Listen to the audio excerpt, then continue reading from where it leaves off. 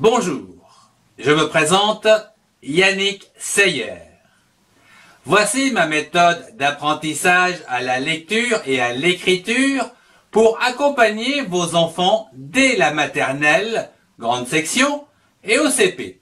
Et ceci à l'aide de la méthode syllabique.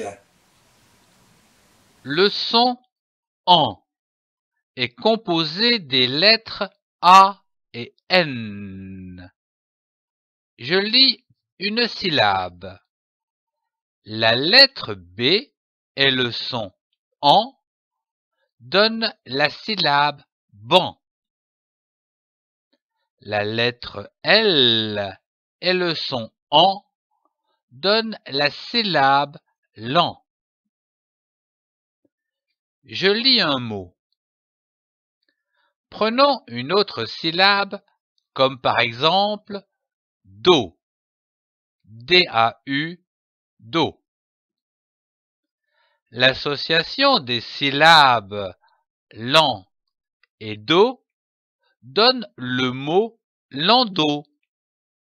Un landau. Voyons quelques exemples de syllabes et de mots avec le son en, formé avec les lettres A, N. La syllabe en, A, N, donne le mot ange. A, N, en, G, E, je, ange. L'association de la lettre B et du son en donne la syllabe ban. B-A-N, ban. Comme une banquise. B-A-N, ban.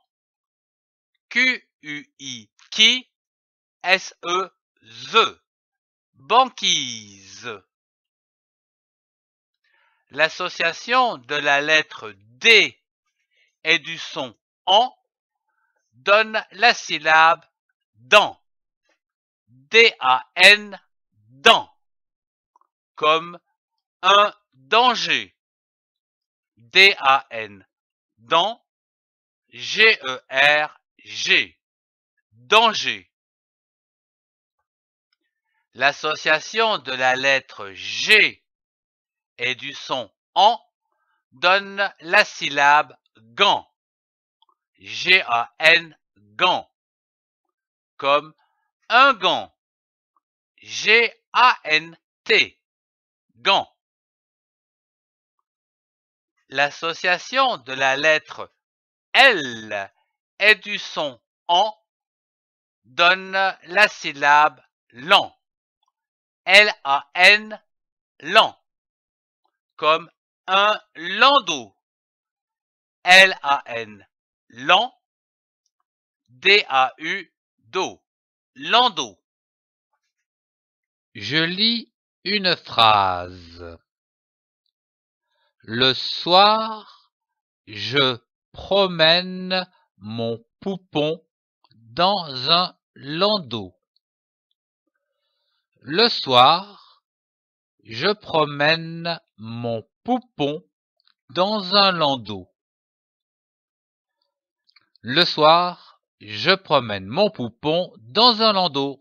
Merci de suivre cette série d'apprentissage à la lecture des syllabes, des mots et des phrases pour accompagner vos enfants dès la grande section de maternelle et en CP. Retrouvez tous les cours dans la playlist. Merci de partager et de mettre un pouce levé si vous avez aimé.